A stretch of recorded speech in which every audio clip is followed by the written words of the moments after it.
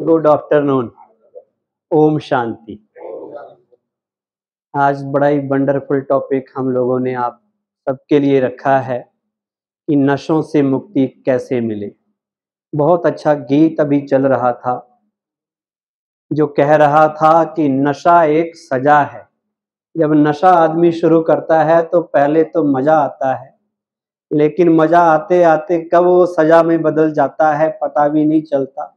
और उससे सारा जीवन तबाह हो जाता है, बर्बाद हो जाता है।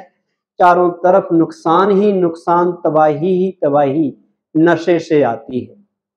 जब लोग शराब पीते हैं, बीड़ी पीते हैं, सिगरेट पीते हैं तो पीकर एक गीत गाते हैं। क्या गीत गाते हैं? मुझे पीने का शौक नहीं, पीता हूँ गम भुलाने के लिए।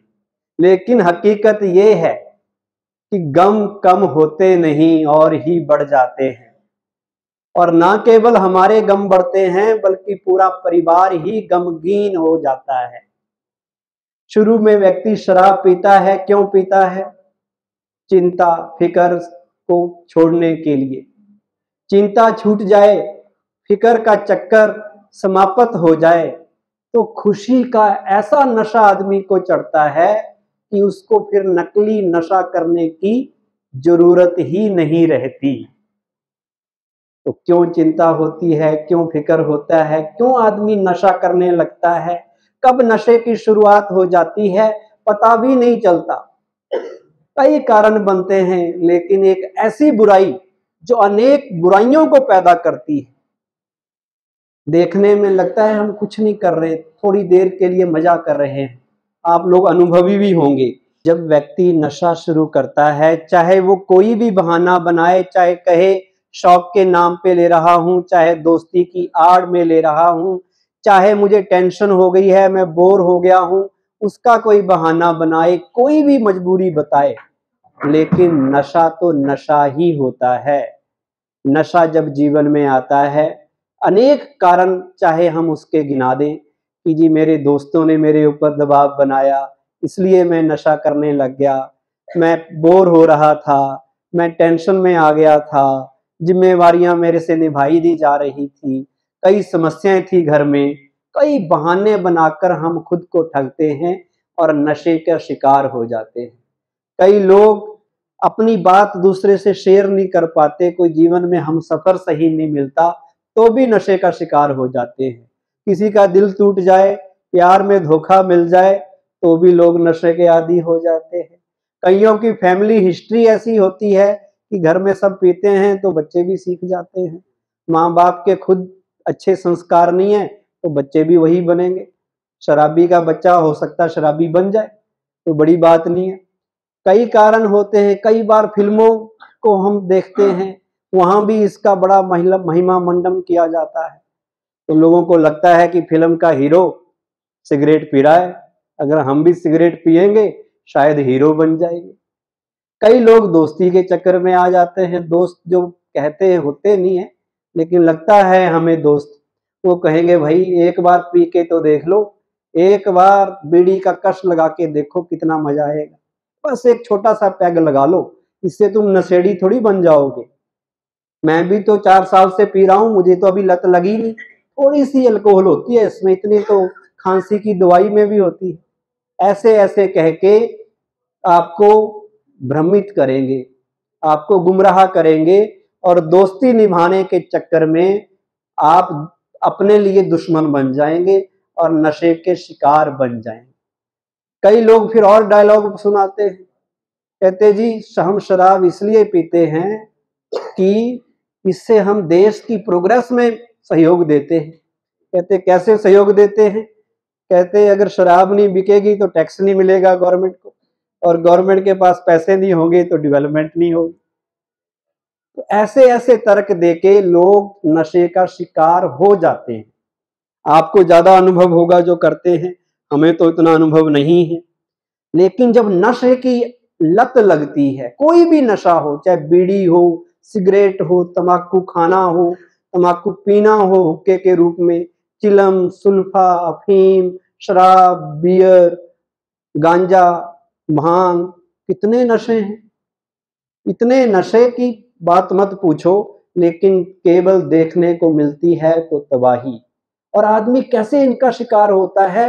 कैसे स्टेप बाय स्टेप आपको फंसाया जाता है लोगों के द्वारा? सबसे पहले तो आपको जिज्ञासा पैदा की जाएगी देखो तो सही होता क्या है? एक बार करके देख लो। आपको भी लगेगा कि हाँ भाई, कहीं से आपने देखा एडवर्टाइजमेंट देखी, कुछ देखा हाँ मैं एक बार पान खा के देख लेता, पान सुपारी।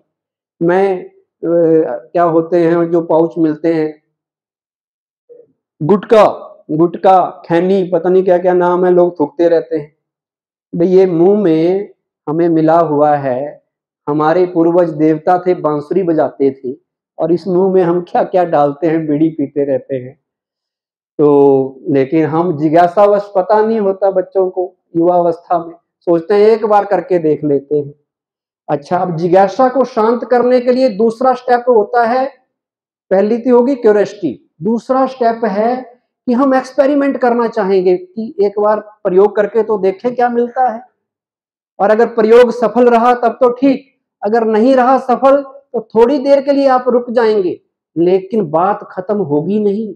आपके लोग, आपके जानने वाले आपको कहेंगे कि ये ऐसे नहीं लेते, इसको ऐसे लो तो मज़ा आएगा। है तो वो कड़वाई, है तो वो अच्छी चीज़ तो है नहीं। लेकिन वो आपको सिखाएँगे। और कई लोग कहेंगे कि ब्रांड ही बदल दे, भाई इसमें नहीं मज़ा आ रहा, दूसरे में ले ले। तो हम एक्सपेरिमेंट करते हैं पहले। फिर जब एक्सपेरिमेंट हो जाता है तो तीसरा स्टेप आता है, चस्का लग जाता है। चस्का लगने का मतलब जब एक्सपेरिमेंट सफल हुआ तो फिर हम सोचेंगे कि कभी कभी पार्टी में ले लेना चाहिए। साल में दो तीन बार ही तो लेते हैं। हमको रोज के शराबी थोड़ी है। पार्टी वगैरह में पी लेते हैं। स्टार्टिंग में दो तीन बार आप पी लोगे। लेकिन धीरे धीरे आपकी तलब जगने लगेगी। आपको इच्छा होने लगेगी, नहीं दो तीन नहीं चार पाँच बार लो पाँच सात बार लो। और लेते लेते कब आप डेली लेने लग जाएँगे, कुछ पता नहीं चलेगा। आपकी रिक्वायरमेंट बढ़ती जाएगी। पहले एक पैग लेंगे, उससे नशा आएगा, फिर दूसरा लेंगे। पहले एक पैग से जितना नशा आता था, फिर उतना नहीं आएगा। दो लेने पड़ेंगे, तब नशा आएगा। फिर दो से भी नहीं आएगा, फिर चार पे आ जाएगी बात। और लास्ट में फिर पूरी की पूरी बोतल पी के नली में पड़े रहेंगे। ये हालत भी हो जाती है। एक बीड़ी पिएँगे एक हमारे रिश्तेदार थे, वो सिगरेट के ऊपर सिगरेट जोड़ के पीते थे। एक खत्म नहीं होती थी, दूसरी स्टार्ट कर देते थे। तो वो हालत वो हालत हो जाती है, उसे कहते हैं चस्का लगना। और चौथी स्टेज है, लत लग गई, एडिक्शन हो गई, आप उसके गुलाम हो गए। छह फुट का आदमी, तीन इंच की बीड़ी या सिगरेट का गुलाम। है ना? छह या पाँच फुट का इंसान, तीन इंच की बीड़ी का गुलाम। तो गुलामी अच्छी लगती है, आज़ादी अच्छी लगती है? लेकिन गुलाम किसके हैं? उसके बिना नहीं जिया जा रहा। तम्बाकू खाए बिना और और ना हो तो ये सुपारी के इतने पाउच मैंने देखे बाहर पड़े हुए कैंपस में भी पड़े हुए। इसका मतलब लोग खाते होंगे आप में से कोई कोई। आप तो नहीं खाते ना, आप तो अच्छे हैं। तो कुछ कुछ लोग खाते होंगे।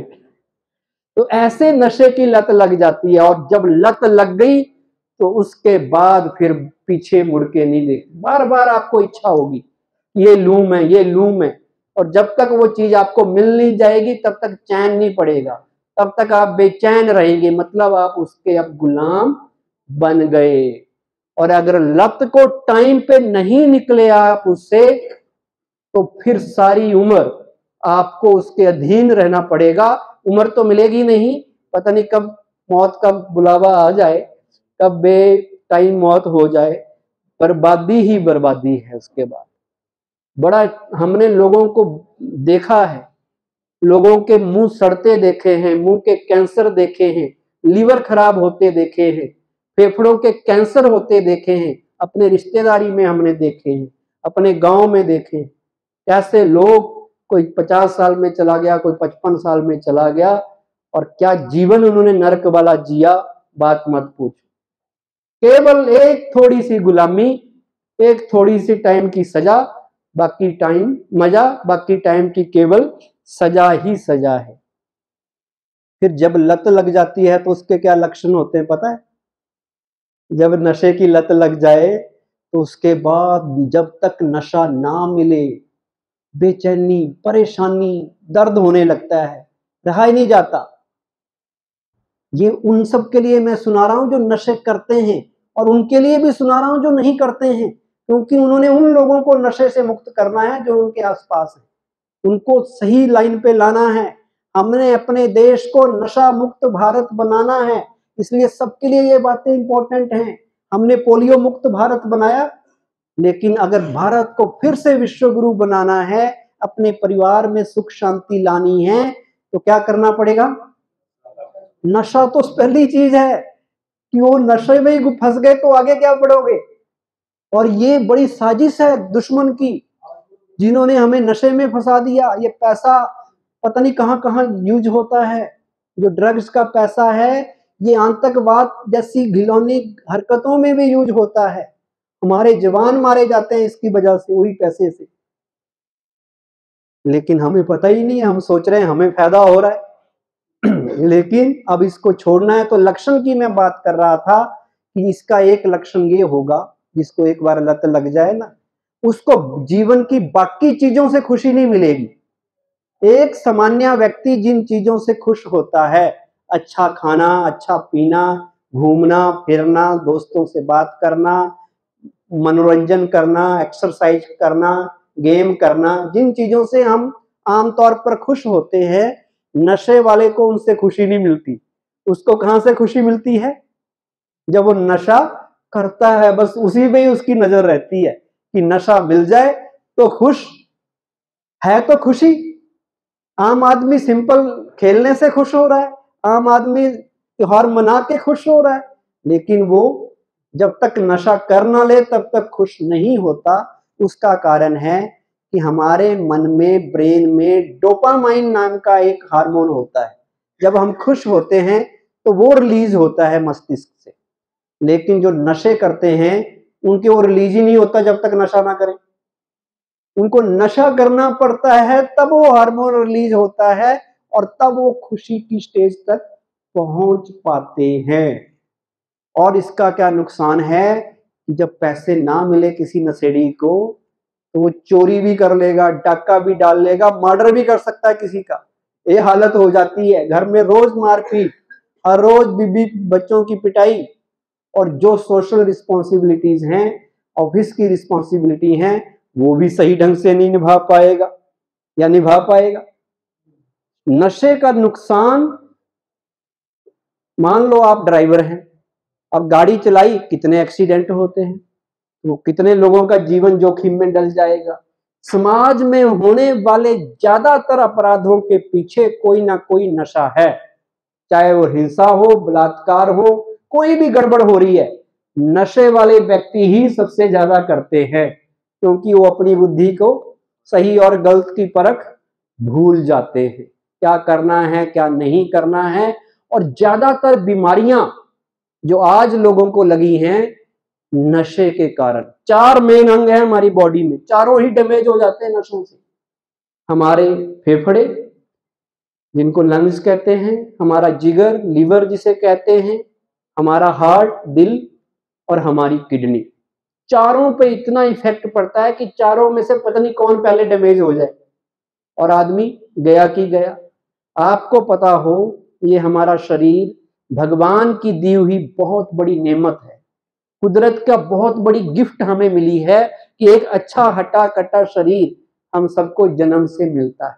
इस शरीर को मंदिर भी कहते हैं, लेकिन इस मंदिर में हम क्या डाल रहे हैं डेली?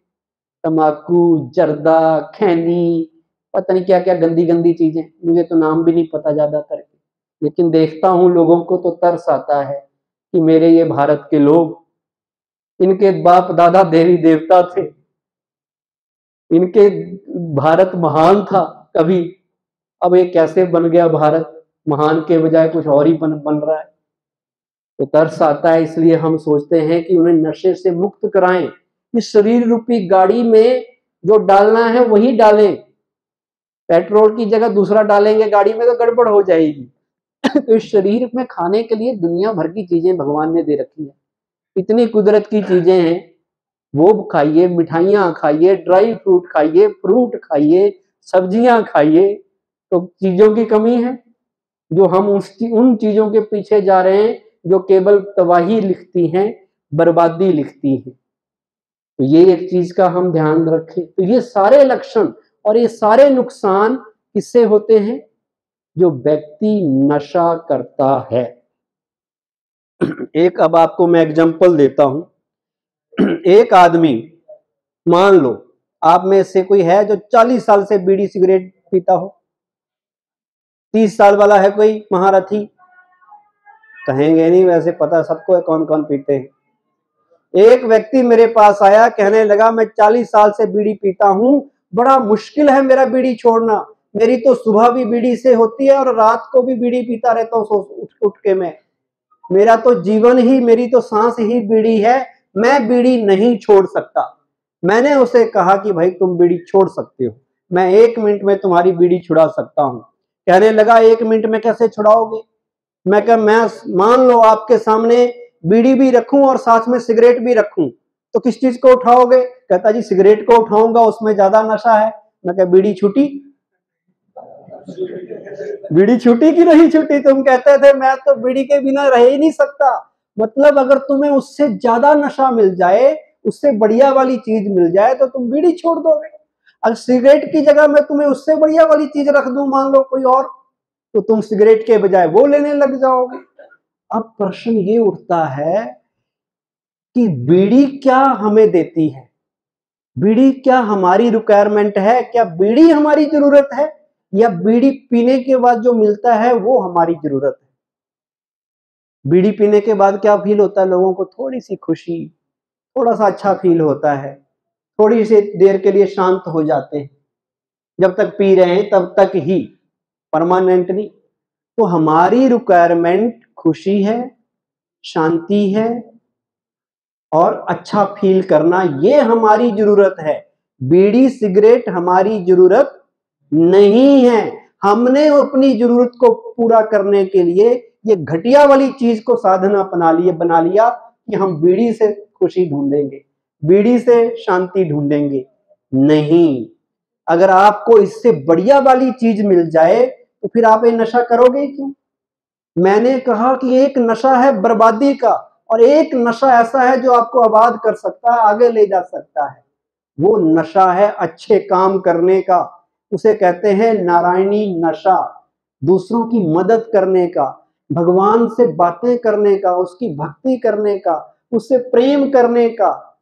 आप वो नशा अपने जीवन में लाओ, दूसरे नकली नशे करने की ज़रूरत ही नहीं पड़ेगी। जीवन भी सुधर जाएगा फैमिली भी अच्छी हो जाएगी, सब कुछ अच्छा हो जाएगा। नकली नशे के गुलाम बनने की ज़रूरत नहीं, क्योंकि उससे आपको टेम्परेरी खुशी मिलती है और अच्छे काम करने से परमानेंट खुशी मिलेगी। सदा काल की खुशी मिलेगी। इसलिए कहते सब नशों से ऊपर है नारायणी नशा। जो एक बार चढ़ जाए, रब का नशा जिसको हो जाता है। अच्छे काम करने का नशा जिसे हो जाता है, फिर दूसरे नशे की ज़रूरत रहेगी। अभी आप नशे इसलिए करते हैं क्योंकि जीवन में आपने अपने को खाली रखा हुआ है। जीवन में कोई लक्ष्य नहीं रखा कुछ करने का, कुछ बनने का, अपनी जिम्मेवारियों को सही से निभाने का। इसलिए खाली मन शैतान का घर। अगर मन को समझा देंगे, अब हम लोग आज तक नहीं नशा किया, देखा भी नहीं होता क्या है। नाम तो मैं इसलिए याद करके आया क्योंकि आपको सुनाने थे। कि कौन कौन से नशे होते हैं। और नशा हम छुड़ा रहे हैं तो अच्छा काम कर रहे हैं। हमारे चेहरे पे खुशी दिख रही है। क्योंकि हम अच्छे तरफ़ लगे हैं तो एक नशा ये है।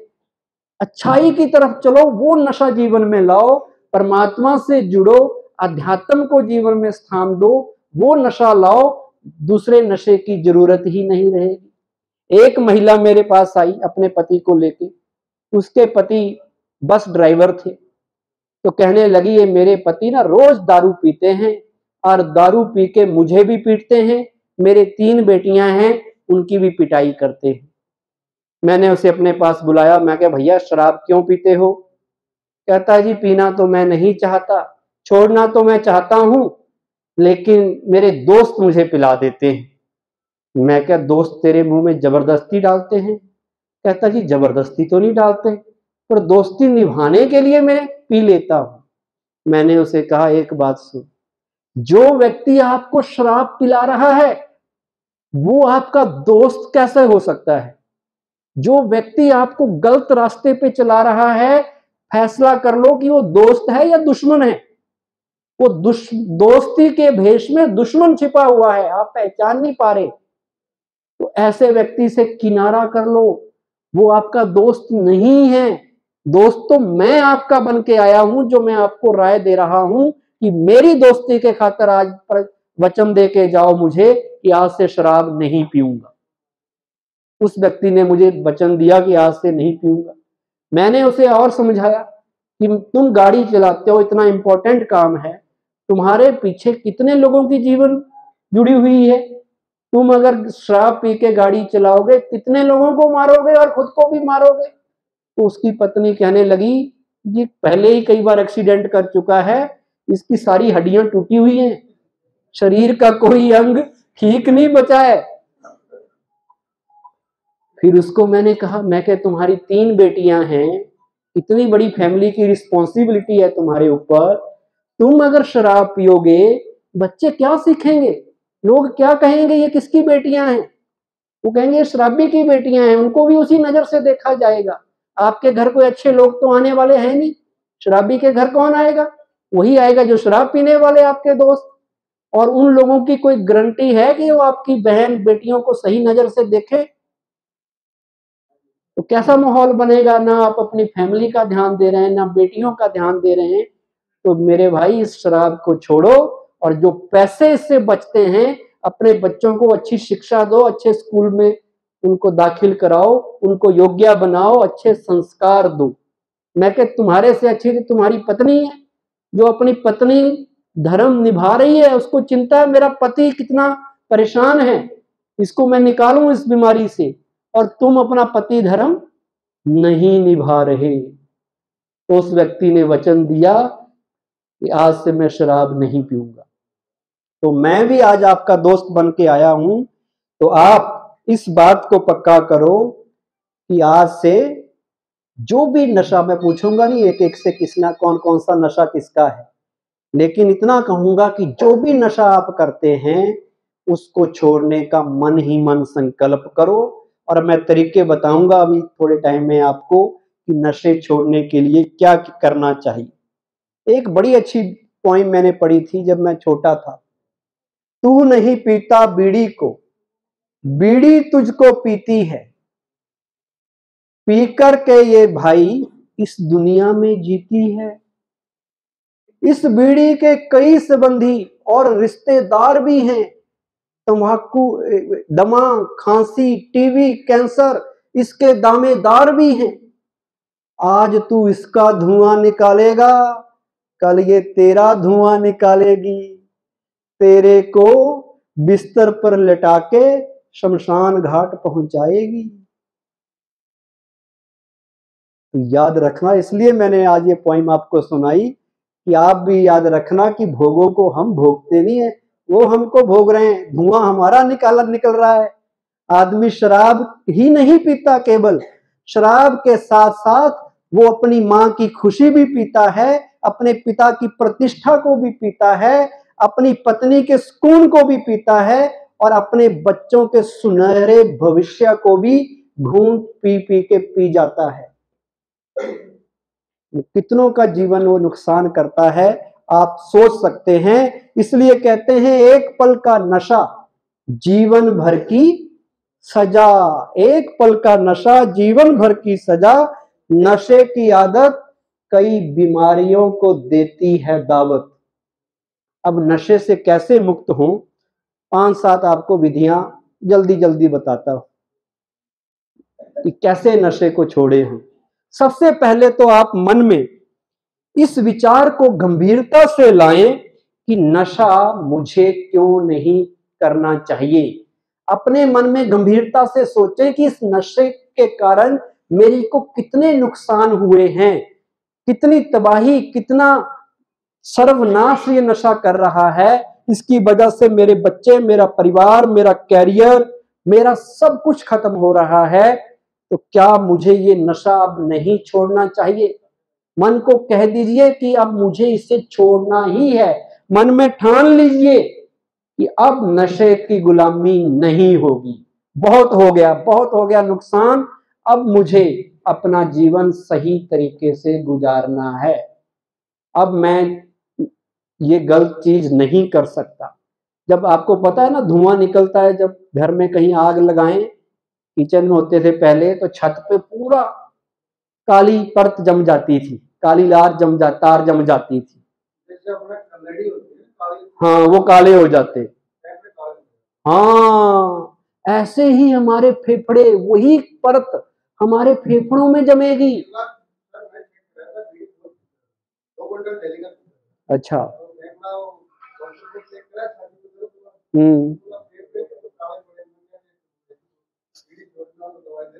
हम्म। देखो, छोड़ दी ना। मतलब आदमी अगर चाहे तो एक मिनट भी नहीं लगता छोड़ने में। बस संकल्प की देरी है कि उनको पता चला कि खत्म हो गया भाई खत्म बीमार के मर जाऊँगा।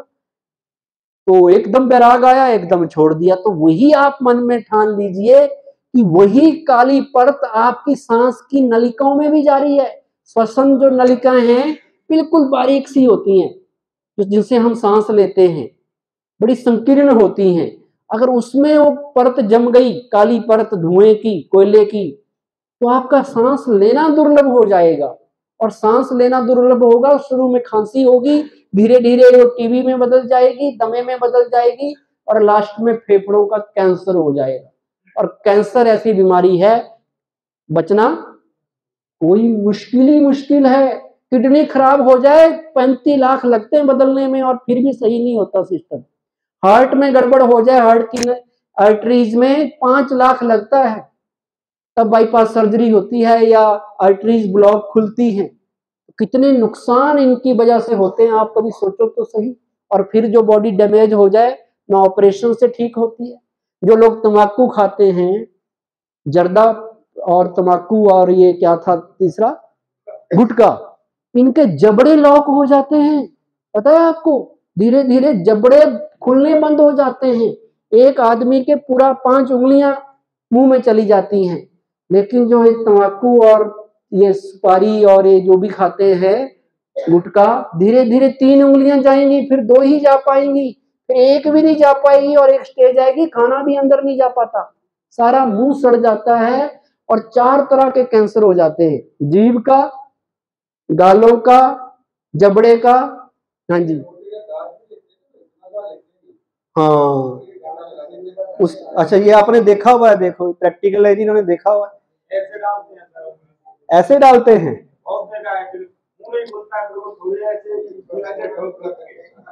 और दांत सारे खराब, दांत पीले पड़ जाएँगे, मुँह से स्मेल आएगी। अच्छा आदमी कोई उनसे बात नहीं करेगा।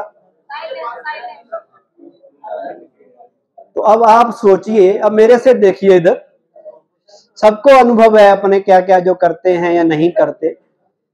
लेकिन अब अगर छोड़ना है तो पक्का इरादा लाइए। सबसे बड़ी बात अगर आप मन में ठान लेते हैं तो कुछ भी इम्पॉसिबल नहीं होता। भाई जी, सब इधर अब काम की चीज़ बता रहा हूँ आपको। अगर हम ठान लें, मन में निश्चय कर लें कि मुझे अब ये आज से छोड़ना है, अपना मन मज़बूत बनाइए। नशा व्यक्ति तभी नहीं छोड़ पाता जो कहते हैं, जी, हमें तलब उठती है। छोड़ना तो चाहते हैं शराब, छोड़ना तो चाहते हैं गुटखा। पर बार बार इच्छा होती है, कारण ये है, मन कमज़ोर है। अब मन को मज़बूत बनाना है, मानसिक मजबूती लानी है और इनर एम्पावरमेंट मेंटल एम्पावरमेंट लानी है। उसके लिए मेडिटेशन हम आपको बताएँगे कि मन कैसे पावरफुल बनता है। वो स्पिरिचुअलिटी का विषय है, जो आपको हम बड़ी अच्छी तरह से समझाएँगे। और इच्छा शक्ति मेन है विल पावर जब आपके अंदर इच्छा शक्ति आ गई, प्रबल, दृढ़ मुझे करना है, हो जाएगा। मेरे पापा चेन स्मोकर थे। शराब भी पीते थे 93 तक। 93 में अचानक ब्रह्मा कुमारी में जाने लगे। जिस दिन गए, उसी दिन से छोड़ दिया। संकल्प कर लिया कि मैं अब आश्रम जा रहा हूँ। अब मुझे अच्छा इंसान बनना है तो आज से मैं नहीं पीऊँगा। एक सेकंड लगा सो, छोड़ने में, जो रोज पीते थे। और जो दोस्त, पहले दोस्त बन के घूमते थे ना, एक भी नहीं नज़र आने लगे। पता चला ये तो शराब के दोस्त थे। असली एक भी नहीं है। क्योंकि तो जब तक शराब पियोगे, तब तक दोस्त है, नहीं तो वो दोस्त थे ही नहीं। मतलब के यार जिसे कहते हैं, तीसरी, चौथी चीज़ आपने करनी है, बुरे संग से परहेज। संग में आके आदमी बिगड़ जाता है तो उन लोगों का संग ना कीजिए जो आपको गलत रास्ते पे चलाते हो और जो खुद इन चीज़ों के शिकार हो। वो अच्छे दोस्त नहीं है, पहचानिए, वो दुश्मन है। वो रावण बन के थे, हैं रावण, पर बढ़िया सुनहरा रूप लेके आ रहे हैं, साधु का रूप लेके। और आप धोखा खा जाएँगे तो सारी उम्र सीता की तरह शोक वाटिका में रहना पड़ेगा। शोक समझते हैं ना? दुख, दर्द, उसमें रहना पड़ेगा। इसलिए अच्छे लोगों की संगत कीजिए। हम आपको कहते हैं कि आपके आसपास ब्रह्मा कुमारी आश्रम है, वहाँ जाइए। वहाँ जाने से क्या फ़ायदा होगा? वहाँ अच्छे लोग मिलते हैं। वहाँ जाने वाले सभी अच्छे लोग हैं, धर्म को मानने वाले, धर्म को जीवन में लाने वाले, उनके संग में रहेंगे तो आपको इच्छा ही नहीं होगी। अभी आप उन लोगों का संग कर रहे हैं जो खराब लोग हैं। उस संगत से निकल के अच्छे लोगों का संग कीजिए, मन को खाली ना रखिए और व्यस्त रहिए। कुछ ना कुछ करते रहिए। पीछे, जीवन का लक्ष्य रखिए। जीवन का लक्ष्य रखिए। पर्पस डिसाइड कीजिए, मुझे करना क्या है? खाली मन शैतान का घर है। सपने देखिए। कुछ बनने के, कुछ करने के, अपने परिवार के लिए कुछ कहिए। उसमें टाइम दीजिए। अकेले रहेंगे, कुछ खा करेंगे नहीं। थोड़ा कमाया और खा लिया तो फिर ये नशे चलते रहेंगे। और कुछ घरेलू नुस्खे भी आप अपना सकते हैं। कई नुस्खे हैं, एक नुस्खा बता देता हूँ। सिंपल सा है। आपके घर में एक ऐसी चीज़ है जो कहीं पर भी मिलती है और सब आप उसको जानते, पहचानते हैं और काफ़ी मात्रा में मिलती है, वो है एक अदरक। अदरक को लीजिए, उसके छोटे छोटे टुकड़े कर लीजिए, उन टुकड़ों के ऊपर नमक, काला नमक और नींबू निचोड़ के उनको धूप में सूखने डाल दीजिए। जब उनका पानी सूख जाए, उन छोटे छोटे टुकड़ों को अपनी जेब में रखिए। जब आपको तम्बाकू खैनी, गुटखा खाने की इच्छा हो, तलब हो जो कहते हैं ना, तलब बड़ी होती है, रहा नहीं जा रहा। मुँह में डाल लीजिए और उसको चूसते रहिए। काटना नहीं, उसको चबा के खा नहीं जाना। चूसते रहना। और अदरक ऐसी चीज़ है, सवेरे से डालोगे, शाम तक चूसते रहोगे थोड़ा थोड़ा रस निकलता रहेगा, पर खत्म नहीं होगा। और इसके पीछे कारण है कि अदरक से सल्फ़र निकलता है। और ये लोग कहते हैं कि जब नशा व्यक्ति करता है ना, जब उसको इच्छा होती है कि मैं करूँ करूँ, मेरे से रहा नहीं जा रहा उसके अंदर सल्फ़र की डिमांड होने लगती है। तो वो अदरक आप मुँह में डाल लीजिएँगे तो वो सल्फ़र की डिमांड आपकी पूरी होगी, वो आपकी लार में मिक्स होके आपके ब्लड में चला जाएगा। तो वो कुछ हद तक आपको नशे से दूर रखने की कोशिश करेगा। लेकिन सबसे ज़्यादा ज़रूरी तो मन का ही है। मन को मज़बूत बनाना है और मैंने कहा, नशा वही करता है जो अंदर से खुश नहीं है, जो अंदर से खाली है, जो अंदर से परेशान है, टेंशन में है, इसलिए जीवन में आध्यात्मिकता को लाइए, अच्छाई के रास्ते पे चलिए, तभी खुशी मिलती है। खुशी अच्छे काम करने से मिलती है। खुशी के लिए मन में अच्छे विचार लाने पड़ते हैं, प्योर थॉट्स लाने पड़ते हैं। अपने शब्द भी मीठे रखने पड़ते हैं, लोगों का भला भी करना पड़ता है। कभी खुशी के ऊपर आपको हम लेक्चर देंगे कि कैसे हैप्पीनेस जीवन में आती है, कैसे माइंड पॉजिटिव बनता है। आज हम खुशी इसलिए नहीं है, कहीं इच्छाओं के गुलाम हैं, कहीं दूसरों से तुलना कर रहे हैं कि ये आगे निकल गया, मैं पीछे नहीं, अपनी जर्नी है सबकी, किसी से कोई तुलना नहीं। इच्छाओं के गुलाम नहीं बनना, जो मिला है जो प्राप्त है हमें याद रखना, वो पर्याप्त है, वो सफिशेंट है। भगवान ने आपको बहुत कुछ दिया है। खुश रहो। भगवान का थैंक्स करो और कहो, भगवान, तूने बहुत कुछ दिया। ये नहीं कहना कि तूने ये नहीं दिया, तूने वो नहीं दिया, उसको इतना दे दिया, उसको इतना दे दिया, मेरे को कुछ दिया ही नहीं। दूसरे को नहीं देखना, दूसरे की थाली में नहीं देखना, अगर खुश रहना है। हम क्या करते हैं जो मिला है उसका आनंद नहीं लेते और जो नहीं मिला है उसकी तरफ़ देखते रहते हैं। हमारे मुँह में कितने दांत हैं? बत्तीस। कभी ध्यान ही नहीं देते कि बत्तीस हैं कि अट्ठाईस। और आज अगर डॉक्टर निकाल दे एक दांत तो सारी रात जीभ उसको टटोलेगी ना जो निकला हुआ है? वही जीभ जाएगी। मतलब खाली जगह में जाएगी। क्यों खाली जगह में जा रही है? क्योंकि हमारी आदत हो गई है, जो है उसको नहीं देखते, जो नहीं है उसकी तरफ़ देखते हैं, इसलिए दुखी है। बहुत से कारण हैं दुख के, और बहुत से तरीके मैं आपको बता सकता हूँ खुश रहने के। सबकी अच्छाइयाँ देखिए, सबकी महिमा कीजिए, किसी की बुराई नहीं कीजिए, बड़े चीज़ें हैं जिससे आप खुश रह सकते हैं, और उस ईश्वर का धन्यवाद कीजिए, शिकवे और शिकायतें नहीं कीजिए, शुक्रिया कीजिए, सबका शुक्रिया कीजिए, सब अच्छे हैं, हमारी कंपनी भी अच्छी है हमारे साथी भी अच्छे हैं, जो साथ में गाड़ी चला रहे हैं। अगर वो गाड़ी ना चलाए, उन पर गुस्सा नहीं करना। क्यों नहीं करना गुस्सा? क्योंकि वो अच्छे हैं। कोसना नहीं किसी को, वहाँ कोसते रहते ना गाड़ी चलाते चलाते कई लोग। सबका अपना अपना रोल है, जिसको जैसे आती है चलाना। और गुस्सा तो करना ही नहीं है। गुस्से का मतलब है दूसरे की गलती की सजा खुद को देना। गलती वो कर रहा है, ड्राइविंग वो ठीक नहीं कर रहा, चिल्ला हम रहे। बीपी हमारा बढ़ रहा है।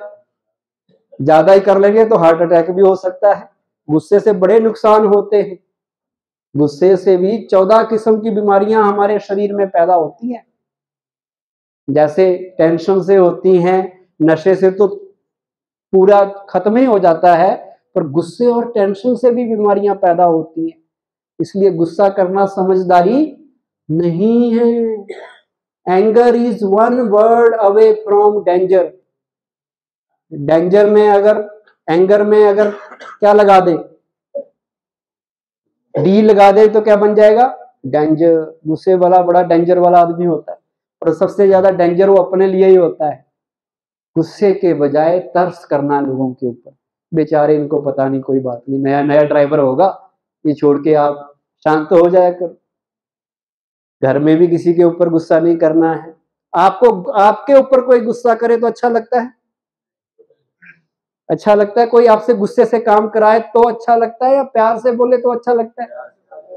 और जब हमने किसी से कराना हो तो एकदम गुस्से में आ जाते कहते लाते हुए भूल, बातों से नहीं मानते, बताता हूँ इसको, इसका दिमाग ठिकाने लगा दूँगा। एक दिन मैं ट्रेन में सफ़र कर रहा था, कुछ एक बात हुई, एक आदमी फटाफट लड़ने गया, कहता, राजपूत हूँ मैं। मैं नहीं सुनता। तो लड़ने लग गया भाई ट्रेन में लड़ने लग गया। तो वो समझदारी थोड़ी नहीं है। तो गुस्से को छोड़ना है, शांति का जीवन जीना है, और कभी टाइम लगे आपको तो ब्रह्मा कुमारी आश्रम में आके मेडिटेशन सीखिए, ध्यान लगाना सीखिए, ईश्वर की संगत कीजिए, परमात्मा की संगत। उसके संग में सब तर जाते हैं, और इंसानों के संगत में डूबने वाला ही काम है, क्योंकि इंसान उतने अच्छे नहीं है। इसलिए भगवान को अपने जीवन में स्थान दीजिए मेडिटेशन को लाइए, अच्छे काम कीजिए और नशों को तौबा तौबा कीजिए और पक्का कर लीजिए, ये नशे हमारी तबाही का कारण हैं और आज से हम संकल्प लेंगे। मुझे अगर अपना दोस्त मानते हैं तो आज ये संकल्प, ये वचन मुझे दीजिए कि हम जो भी एक नशा आज कर रहे हैं, वो हमने छोड़ना है। संकल्प कर लिया तो आज ही छूट जाएगा। Thank you very much Om Shanti. गई आदरणीय ओंकार माई जी का बहुत बहुत धन्यवाद, जिन्होंने हमें नशे से होने वाले बहुत सारे नुकसान बताए और हमें ये प्रेरणाएँ भी दी कि हम नशे को अगर छोड़ना चाहें तो सिर्फ़ हमें दृढ़ संकल्प की आवश्यकता है। अपने मन के अंदर दृढ़ संकल्प कर लिया कि हमें इस चीज़ को छोड़ना है, हम उस चीज़ को एक सेकंड में छोड़ सकते हैं। अब मैं आपको नशे से होने वाले प्रैक्टिकल के दो अनुभव बताती हूँ दो दो मिनट के और एक जोक है। अभी ये भैया जो आपके सामने खड़े हैं, इनके जीजा जी अभी बीमार हुए। तो हमारे आश्रम का उद्घाटन था, तब वो हमारे पास आए थे तो वो गुटखा खाते थे।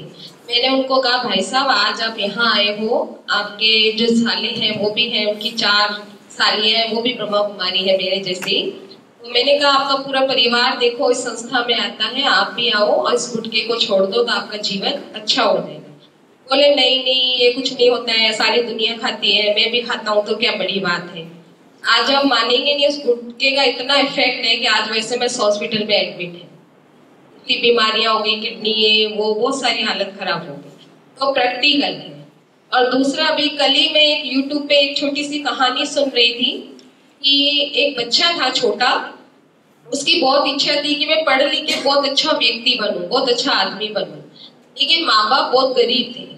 जैसे तैसे करके उसको पढ़ाया और उसको बड़ी ऊँची पढ़ाई कराने के लिए उसको बॉम्बे कॉलेज में भेजा। तो जब वो बॉम्बे कॉलेज में पढ़ने के लिए गया तो जैसे भाई साहब ने कहा कि अभी हमें बुरी संगत का बहुत लग जाता है। दुनिया के अंदर संग का रंग बहुत जल्दी लगता है। और किसी का संग लगे ना लगे, लेकिन बुरे का संग बहुत जल्दी लग जाता है। तो उस बच्चे को भी क्या हुआ? बुरे का संग लग गया। और उसने क्या किया? वो चरस चरस समझते ना चरस का लंग लग गया। लत लग गई। तो धीरे धीरे धीरे धीरे उसको इतनी आदत हो गई कि वो उसके बिना रह नहीं सकता था। अब परिवार वाले जैसे तैसे करके उसको पैसे बेचते थे लेकिन उन पैसों से उसको वो चरस मिल नहीं पाती थी। स्कूल की फ़ीस भरनी है। वो सोचता था कि अब क्या किया जाए। ऐसा आ रहा ही नहीं है, अब आदत तो छूटती नहीं। तो एक बार वो अपने परिवार में ये कहानी नहीं, हकीकत की घटना सुना रही हूँ मैं आपको वो अपने परिवार में आया मिलने के लिए। उसने अपने माता पिता को कहा, भाई, मुझे पैसे चाहिए। तो उन्होंने कहा, भाई, हम तो जैसे तैसे करके आपको देते हैं, अब क्या करें? तो आप विश्वास नहीं करेंगे, उसने पैसा न मिलने के कारण, वो नशे की लत पूरी न होने के कारण, उसने अपने ही घर वालों को, पाँच लोगों को खाने में जहर डाल के मार दिया उनको। तो उसमें से क्या हुआ जो पाँच लोगों को जहर डाल के मारा तो उसमें से चार मर गए, एक बच गया तो उसको दूसरे तरीके से मारा। और वो बच्चा आज जेल के अंदर है। समझ गया आज वो बच्चा जेल के अंदर है। लेकिन लक्ष्य उसके माँ बाप का क्या था? कि हमारा बच्चा पढ़ लिख के बहुत बड़ा इंसान बन रहा है तो कहने का भावार्थ है, नशे की लत इतनी बुरी होती है कि वो सिर्फ़ हमें ही बर्बाद नहीं करती, बल्कि हमारा घर, हमारा गाँव, हमारा शहर, हमारा देश तक को बर्बाद कर दी हमारी संस्था के अंदर एक माता आई। बोले, दीदी, मैंने सुना है आप बहुत अच्छा ज्ञान देते हो। तो उसको ज्ञान सुनाया वो बीड़ी पीती थी। ने कहा माता जी बीड़ी नहीं पीनी चाहिए, अच्छी बात नहीं है कि दीदी मेरी तो आदत छूटती नहीं। मैंने कहा, आप रोज आओ धीरे धीरे भगवान को याद करोगे तो आपकी बीड़ी छूट जाएगी।